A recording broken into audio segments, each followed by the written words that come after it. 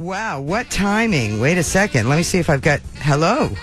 Hello, it's Graham here. It is Graham. Aha. We were getting a little worried. I just had Brian send you out an email. no, no, I'm here. All right. We've got. Good, good. I know this is so early in the morning for you. no problem. I've gotten up, got my cup of coffee.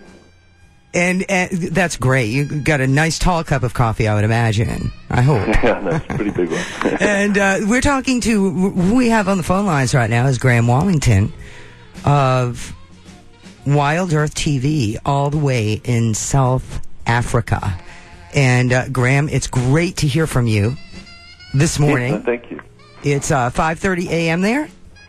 5.30 a.m. in the morning. I've been up for half an hour, getting my mind right. Wow. And uh, and you you're way out there, and we're here in Boston. It's 10, 1037 right now, and uh, we want we, we actually I spoke to our WAAF listeners a little while ago about the fact that uh, the the reason we're speaking tonight is all about bringing worlds together, and it's all about the children.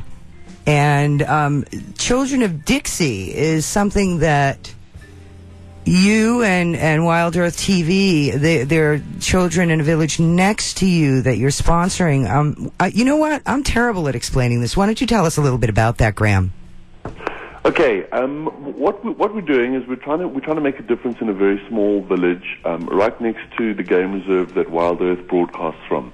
The game reserve we broadcast from is Djuma Game Reserve, um, and it's, uh, it's, it's part of the Greater Kruger National Park area. Um, and uh, the only people that live inside the, the reserve, including the Kruger National Park, are people that are either tourists or are working in some of the game lodges um, inside the reserve.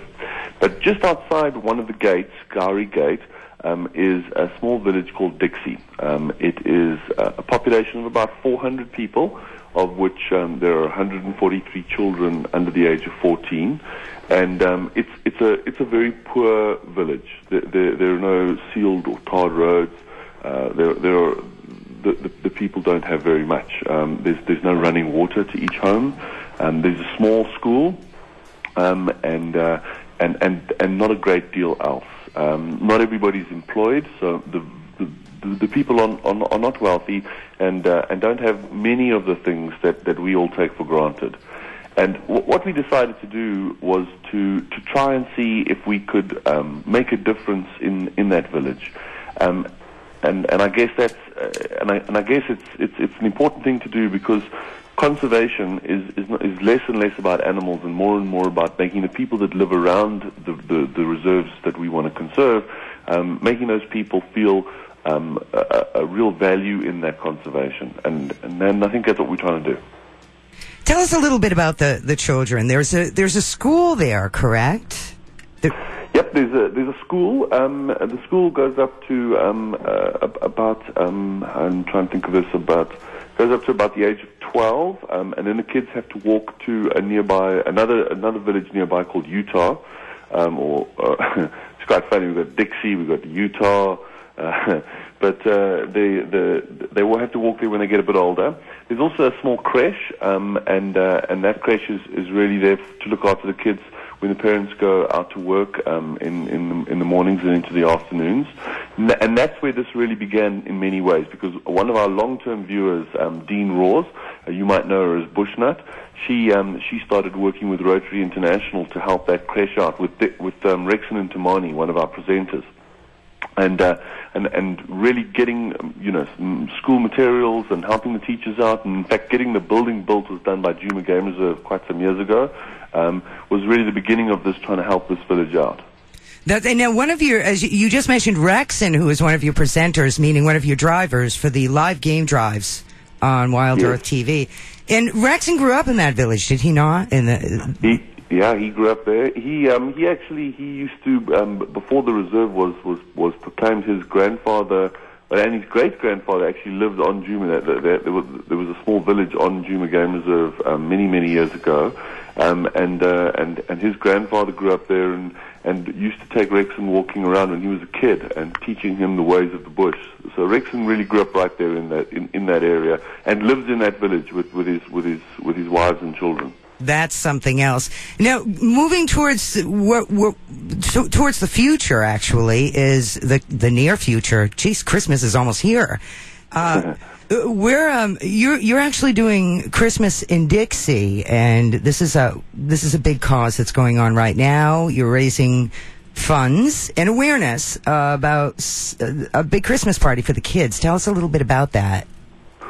Okay. Um, well, what happened was there are a few different charities um, that, that work in the area, including Dixie, and, and, and they work on big projects. Um, they work on things like you know building schools and hospitals.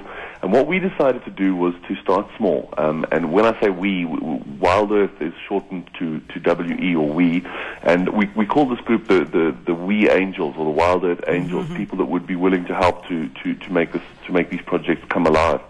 And the first one that we took on was a very simple little project. was to was to take all the kids to um, to go and see a, a, a film in um, Nelspruit, which is the, the closest big city. Um, it's about a three-hour drive away. And none of these kids, kids had ever seen a sealed road before, a double-story road. They'd never been out of the village or that area. And we got some buses, and we took them, and they had they had a hamburger lunch, and got some popcorn, and uh, and, a, and a big soda, and, and, and watched and watched uh, uh, a film in in Nelspruit. And that was a very exciting project. And really, what we wanted to do was to start small, and to build to build um, trust with, with, with the village and, and with the, the We Angels, and, and that went off very well. Our second project, um, which is which is going very well again, um, uh, is Christmas at Dixie, and and really we've got two objectives with this. The first is to make sure that every single child gets um, a present. Um, there are 143 kids under 14, and um, and they've never had Christmas presents before. Um, and uh, you know, the, our experience of Christmas in the Western world, or you know, in a more affluent world, is quite different from theirs. And we just thought, what an what an awesome thing to, to just give these kids. It's not it's not a big deal in in, in our lives, but in their lives, it's going to be really important. And uh, and so we put a call out to to see if we could raise some money to do this, and we've been overwhelmed by the response. And we've gone. My my wife and I, Emily and I, have bought all the presents. Uh, already half of them are down at Djuma and they're all being wrapped and so on by, by the Wild Earth crew. Um, the other the other half are actually I'm looking at them now in, in my house. It's a huge pile of presents which we've got to get down there. Um, and uh, and and the other part of what's going to happen on Christmas Day is that we're going to we're going to throw a, a, party or a lunch for about 500 people. Uh, th- th- to be honest, I'm absolutely certain there's going to be a lot more than 500 people that that come. I wish The I word was there. gonna- yeah, the word's going to travel. But what we're doing is um, we've uh, we've we, we, we bought a couple of oxen that um, that we're going to cook, um, and uh, and and uh, about a hundred chickens and a bunch of sheep, and we're going to make the uh, uh, uh, something called mieliepap, which is um, which is I'm trying to think if there's an, a kind of an American equivalent, and I can't. It's sort of like a, a- a stiff porridge uh, made out of maize meal, um, corn, um, and, uh, and and it's a staple diet. And then we're going to make some salads, and we're going to make a whole lot of things, and we're, we're going to feed everyone. Um, and then there's going to be a lot of dancing, and there's going to be uh, it's, it's going to be a big celebration, which we're going to broadcast live. So on wildearth.tv, www.wildearth.tv, um, you'll be able to you'll be able to come along and watch for free through that through the whole proceedings, giving the kids the presents, and then moving into lunch uh, and all the dancing and uh, who knows what for the whole day. So we're gonna we're gonna put that out live on our site. This is exciting. So people that are listening now can actually click in right into the website and watch this party going on. That's exactly what they're going to be able to do on Christmas Day. And- and what be is- a part of it. what is that website again? Uh, it's www.wildearth.tv. Nice. And uh, want everybody to write that down. It's a party. And, uh, I, geez, I wish I could fly out, but uh, internet is good. And there's also, there are also some other sites. Um, I, uh, there is, isn't there something where there's a particular magazine, a web magazine, where if they get 5,000 members or, or a certain amount of members that sign up on the, on the, um, Christmas Children of Dixie or the Children of Christmas. At Di- I'm totally messing this up. You know, you know what I'm talking about. Everybody Yeah, I know knows, what you're right? talking about.